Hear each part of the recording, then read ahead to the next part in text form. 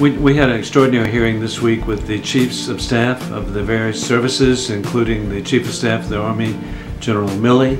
Uh, we had the chief of naval operations, uh, also the chiefs of staff uh, from the Marine Corps uh, and the Air Force.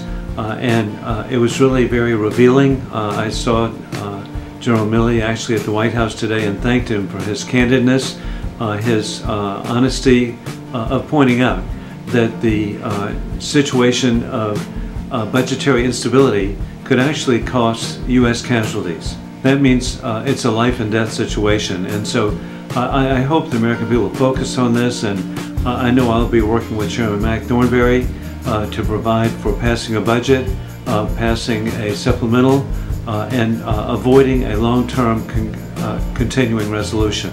Well, I'm really grateful. earlier this year, I introduced a resolution to condemn uh, the uh, regime in North Korea, uh, the dictatorship in North Korea that is building uh, intercontinental ballistic missiles and also miniaturizing uh, nuclear uh, warheads, which could strike the west coast of the United States. It was a overwhelming vote, and I'm just very, very grateful. Really grateful that the military officers of America came by.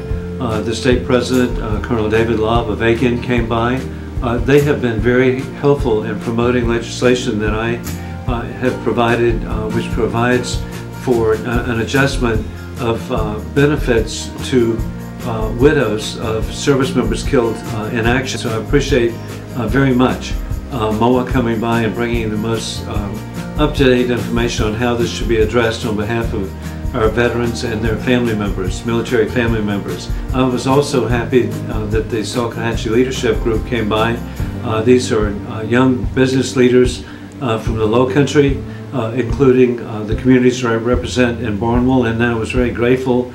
adjacent communities in Hampton, Jasper, Allendale, Bamberg. It's inspiring to see the young leadership of that area uh, a real highlight indeed was to be uh, with the Wounded Warriors. These are severely injured troops and the Wounded Warrior Project has had a bike ride, but it's a way for them to get together with each other, to bond with each other, to recover. Uh, and uh, so they were at the White House today, very uplifting experience uh, to be there with people who have truly um, put their lives at risk to provide for what we know, and that is freedom is not free. I want to thank you for watching This Week with Wilson, and I want to extend an invitation. Uh, the office that uh, currently we have, the new office, uh, is in the Longworth office building 1436. Please come by and visit. I want to, again, I'm just grateful to serve in Congress. Thank you.